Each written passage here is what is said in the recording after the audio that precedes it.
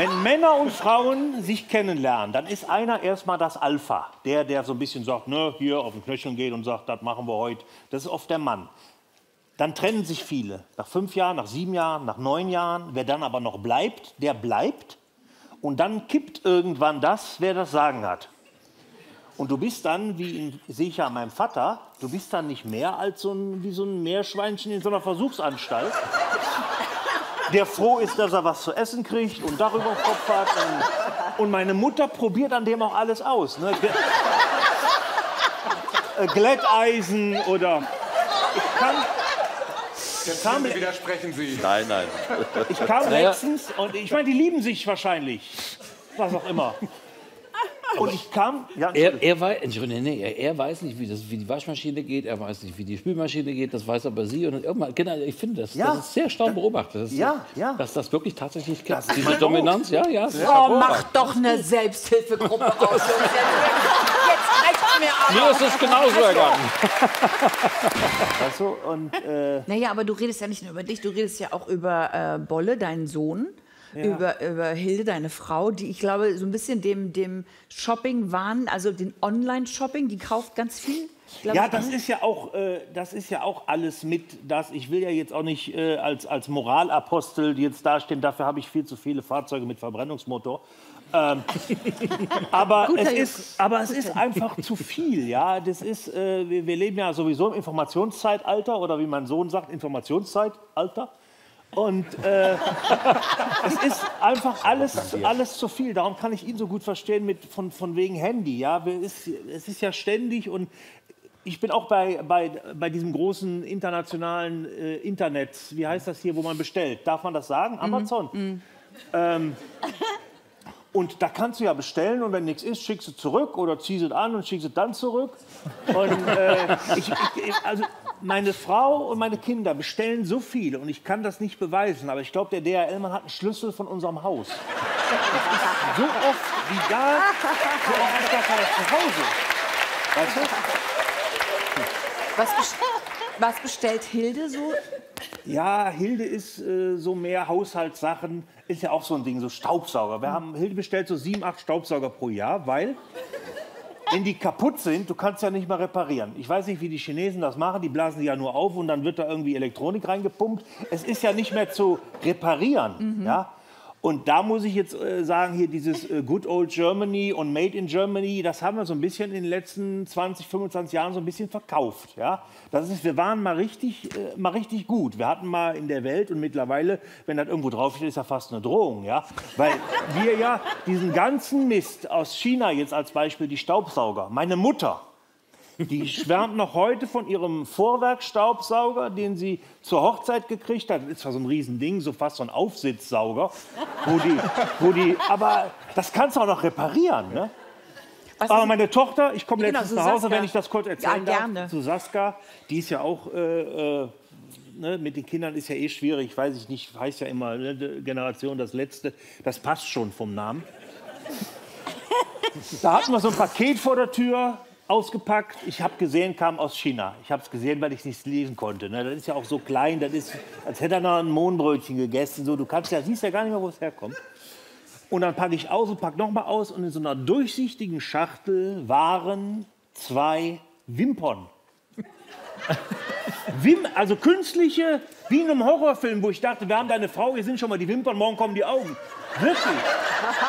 Und dann, wie kann man sowas 8000 Kilometer über den halben Planeten bestellen? Und dann, und, aber da fehlt auch jedes Bewusstsein. Ich bin dann zu meiner Tochter, die lag auf dem Bett und hatte Gesichtszeit mit ihrem Freund, haben die ja über Handy mittlerweile, die sehen sich ja, FaceTime. Die sehen sich dann. Ne? Und wenn ich dann komme und sage, was hast du Tupo, bestellt? Sie wissen, wovon er redet, ne?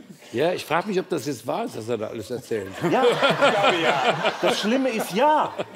Aber ich tarn das mit, Wollen ich bin die, eigentlich die Frau wechseln, wenn die sich Wimpern bestellt? Und, Das und war jetzt die? Tochter, Herr Tubor. Ach so, die Tochter. Die kann man nicht Und die kann man ja auch Aber schöner. Gedanke. es ist. Äh, nein, es ist wirklich schlimm, dieses, dieses Kaufen, Kaufen, Kaufen, immer, immer, weißt du, dieses. Wie geht Bodo mit der Apo Apokalypse um?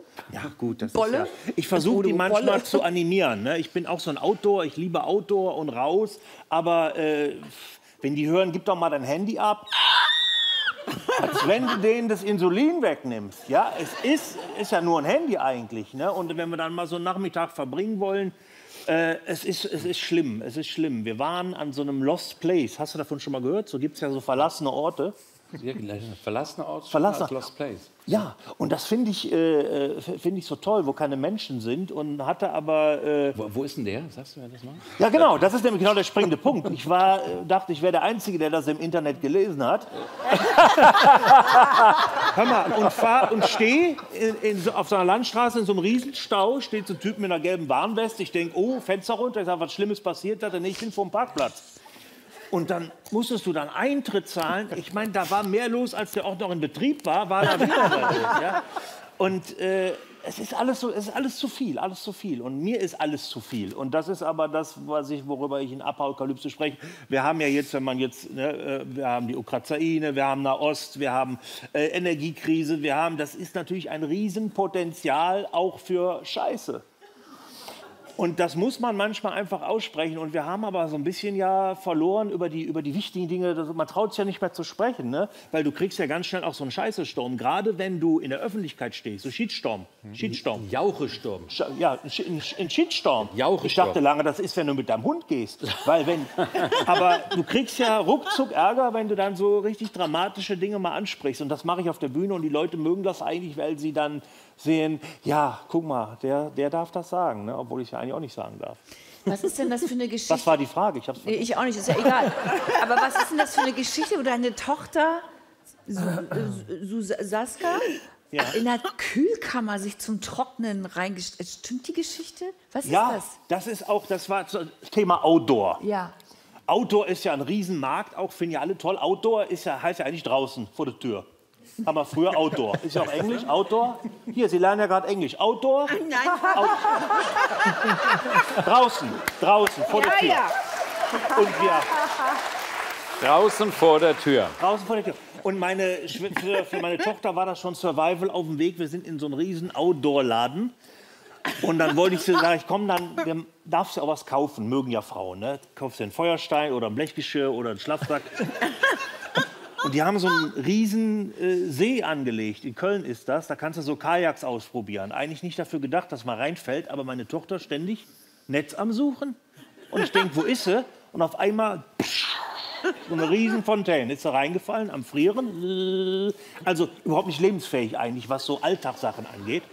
Und dann sage ich, ja, dann geh dich irgendwo aufwärmen. Und dann ist sie in diese Kammer, wo du Downjacken ausprobierst, steht groß dran, minus 17 Grad.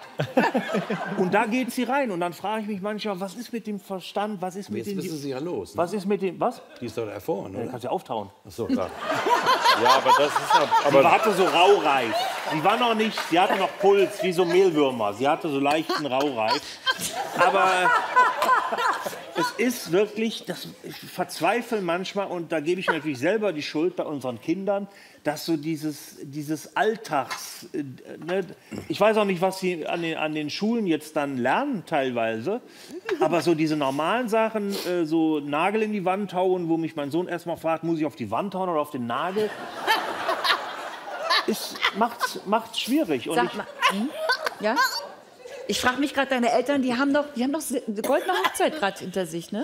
ich fand es eben so toll, goldene Hochzeit. Meine Eltern hatten Diamanten. Diamante? Ja, das ist 60 Jahre und das muss man sich mal vorstellen. 60 Jahre mit der gleichen Person zusammen sein. Das ist toll. Was Wenn- macht das mit dir, wenn du daran denkst?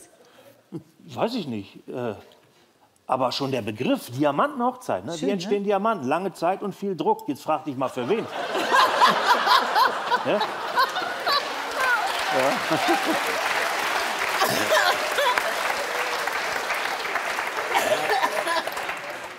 Aber da scheint ja einiges richtig gelaufen zu sein. Das geht nur, indem irgendwann einer aufgibt. Meiner Meinung nach. Du hast ja, ist eine Theorie, Herr Thiel, das heißt nicht, dass das so sein muss. Sich, aber das ist ja, ich habe das gelesen in einem wissenschaftlichen Artikel in der Apothekenumschau. Wenn Männer und Frauen sich kennenlernen, dann ist einer erstmal das Alpha. Der, der so ein bisschen sagt, ne, hier auf den Knöcheln geht und sagt, das machen wir heute. Das ist oft der Mann. Dann trennen sich viele. Nach fünf Jahren, nach sieben Jahren, nach neun Jahren. Wer dann aber noch bleibt, der bleibt. Und dann kippt irgendwann das, wer das Sagen hat. Und du bist dann, wie in, sehe ich ja an meinem Vater, du bist dann nicht mehr als so ein, wie so ein Meerschweinchen in so einer Versuchsanstalt, der froh ist, dass er was zu essen kriegt und darüber im Kopf hat. Und, und meine Mutter probiert an dem auch alles aus. Ne? Äh, Glätteisen oder ich kam, Jetzt Kam- bitte widersprechen Sie. Nein, nein. ich kam Naja. letztens und ich meine, die lieben sich wahrscheinlich. Was auch immer. Und ich kam, ja, Er, er, weiß, Entschuldigung, nee, er, er weiß nicht, wie, das, wie die Waschmaschine geht, er weiß nicht, wie die Spülmaschine geht, das weiß aber sie. Und irgendwann, genau, ich finde, das, Ja. das ist sehr stark beobachtet. Das ist, Ja, ja. Dass das wirklich tatsächlich gibt. Das Diese Dominanz, ja, ja. Oh, mach doch eine Selbsthilfegruppe aus. Jetzt, jetzt reicht's mir aber. Mir ist es genauso ergangen. Meine Mutter vielleicht eine Sache. Ich kam, ich kam, also mein Vater, wie gesagt, ist 83 und der wird dann aber auch immer, wenn er was ausprobieren muss, so bestochen. Der kriegt dann Wein und dann sagt meine Mutter, Otto heißt mein Vater, jetzt setz dich erst mal hin.